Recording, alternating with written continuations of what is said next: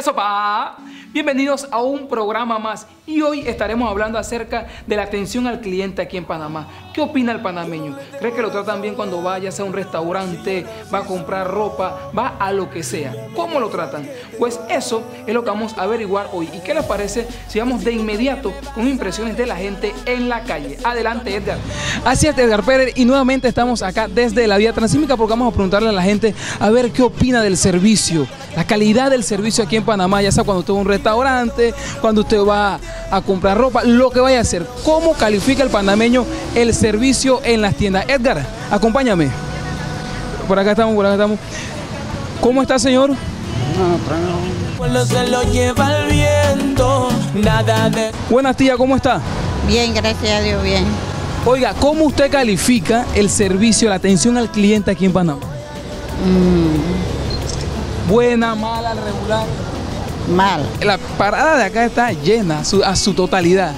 Pero la gente apenas ve las cámaras ya ahí, la cosa se pone un poco seria. Así que vamos por acá, acompáñame por acá para preguntarle a la gente a ver qué opina del servicio aquí en Panamá. Vamos por acá, por acá, por acá, por acá. Más voy a disfrutar de lo mío. Se acabaron las lágrimas y todos tus melodramas. No- quiero opinar. Edgar, no quiero opinar qué está pasando. Dime, mírame bien, hazme un glosopa a veces que yo estoy un poquito feo. ¿Qué, qué está pasando aquí? Ella, ella la Bien, Ella es la que habla. Usted es la elegida. Oiga, qué responsabilidad más grande. Pero vamos haciendo una preguntita básica. ¿Qué opina usted del servicio al cliente aquí en Panamá? Te dice de los metros. Servicio de todo. O sea, cuando usted va a comprar, cuando usted va a un restaurante, cuando usted va a comprar lotería, ¿cómo la trata?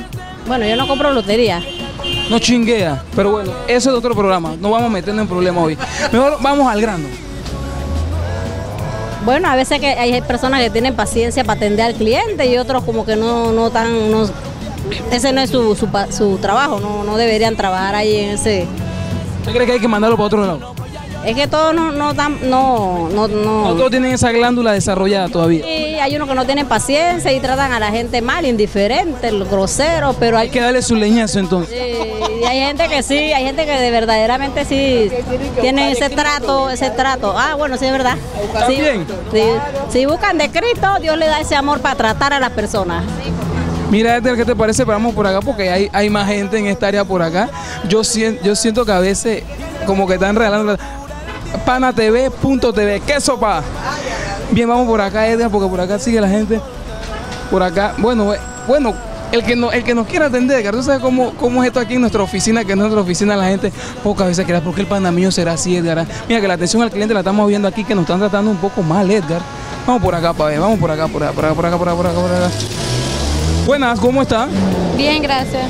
Oiga, yo ando haciendo una preguntita por ahí. ¿Qué opina usted de la atención al cliente aquí en Panamá? ¿Cree que usted es buena, mala, regular o pésima? Regular. ¿Por qué cree que regular? Hay cosas en las que tenemos que mejorar. ¿Cómo cuáles? Para ver, puntualíceme algunas. Eh, bueno, el, el trato, esa primera impresión que se lleva el cliente cuando es atendido por cualquier servicio que esté necesitando. Ya usted lo oyó. Así que vamos a los estudios para hacer nuestro análisis acerca de este tema, la atención al cliente aquí en Panamá, porque seguimos en ¿Qué sopa? La verdad que yo me quedo con esa opinión de la señora. No importa si usted está bravo, si usted está contento, si a usted le va mal en su familia, usted tiene que tratar bien a la gente porque se le está pagando. Es más, la persona que va a comprar le está pagando a usted su salario. Por ende, usted tiene que darle buen servicio. Claro, Tampoco está masoneando a la gente como yo he ido a ciertos sitios y ha sucedido. ¿Cómo está la comida? ¿Cómo está? Oye, dejen respirar. Pero aquí lo más importante es que usted, si lo tratan mal en un lugar, pues no vaya más a ese lugar. Porque usted está pagando para que le den un buen servicio, por ende, se lo merece. Bien, de esta manera llegamos a la parte final de tu programa ¿Qué sopa? Recuerda que puedes darnos todas tus sugerencias y comentarios en nuestras redes sociales que aparecen aquí en pantalla. Te habló Jesús González. Nos vemos en un próximo programa desde mi oficina.